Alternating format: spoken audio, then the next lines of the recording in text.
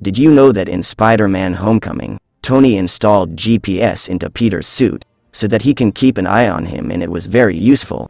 When Tony had no way to get back home after escape from kidnappers, then he realized that his suit does not have a GPS. He then starts installing GPS in his suits because Tony learned from his mistakes.